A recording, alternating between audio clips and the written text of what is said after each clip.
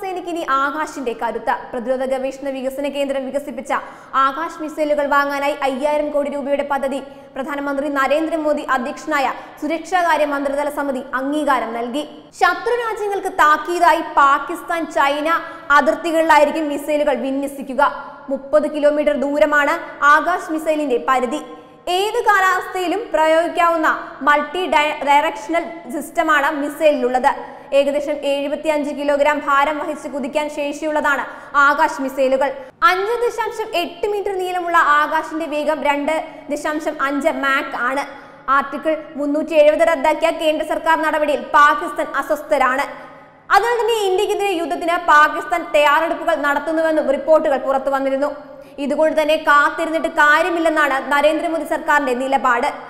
അത്യാധുനിക മിസൈലുകൾ പൂർണമായും തദ്ദേശീയ സാങ്കേതിക വിദ്യ ഉപയോഗിച്ച് നിർമ്മിക്കാൻ ലക്ഷ്യം വെച്ച് ഇന്ത്യ നടത്തിയ പദ്ധതിയായിരുന്നു സംയോജിത ഗൈഡഡ് മിസൈൽ വികസന പദ്ധതി. മിസൈൽ സാങ്കേതിക വിദ്യാ രംഗത്ത് ഇന്ത്യ നടത്തിയ വൻ കുതിച്ചുചാട്ടമായിരുന്നു ഈ പദ്ധതി. ആയിരത്തി തൊള്ളായിരത്തി എൺപത്തി മൂന്നിലാണ് ഈ പദ്ധതിക്ക് തുടക്കം കുറിച്ചത്. പ്രതിരോധ ഗവേഷണ സ്ഥാപനമായ ഡി ആർ ഡി ഒയുടെ നേതൃത്വത്തിൽ നേതൃത്വത്തിലാണ് ഈ പദ്ധതി പൂർത്തിയാക്കിയത്. മധ്യദൂര ബലിസ്റ്റിക് മിസൈൽ മിസൈലായ അഗ്നി ഹ്രസ്വദൂര ബലിസ്റ്റിക് മിസൈലായ പൃഥ്വി സർഫസ് ടു എയർ മിസൈലുകളായ ആകാശ് തൃശൂർ ടാങ്ക് വേദ മിസൈലുകളായ നാഗ് എന്നിവയായിരുന്നു ഈ പദ്ധതിയിൽ ഉൾപ്പെട്ട പ്രധാനപ്പെട്ട അഞ്ച് മിസൈലുകൾ എയർ ടു എയർ മിസൈലായ അസ്ത്രയും ഈ പദ്ധതിക്ക് കീഴിൽ വികസിപ്പിക്കുകയുണ്ടായി.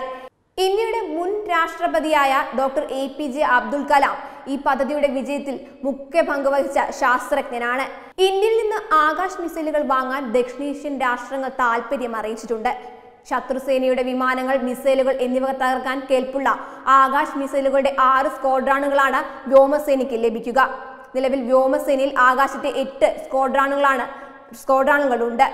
രാജ്യത്തിന്റെ ആകാശ ആകാശക്കോട്ടയെ കാക്കാൻ വ്യോമസേനയ്ക്ക് തദ്ദേശീയ ആകാശ് മിസൈലുകൾ കരുത്തു പകരുമെന്ന കാര്യത്തിൽ തെല്ലും സംശയം വേണ്ട. Web desk news.